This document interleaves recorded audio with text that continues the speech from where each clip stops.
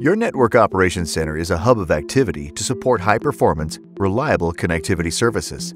Operators rely on the data communications network to support the full lifecycle of network operations, including device commissioning, maintenance, service provisioning, and assurance. If you're struggling to troubleshoot data communications network issues, level up to intelligent network control with Ciena's MCP applications.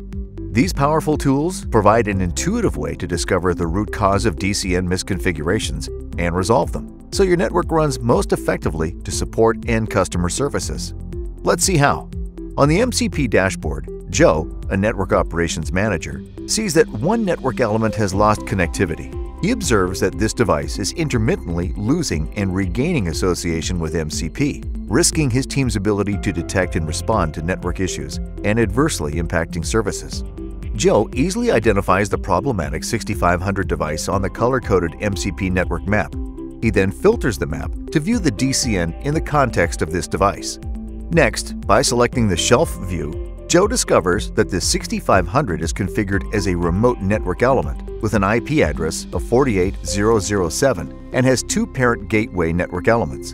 To trace back the parent DCN configuration, he selects the 6500 and both parent GNE nodes and adds them to the DCN context.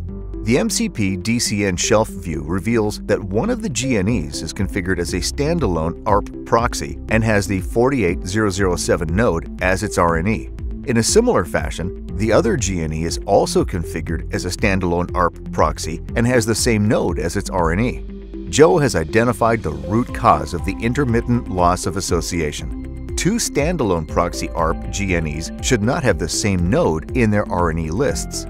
Joe corrects the misconfiguration so that the 6500 node only has a single GNE, which fixes the intermittent loss of association, and network services can now run smoothly.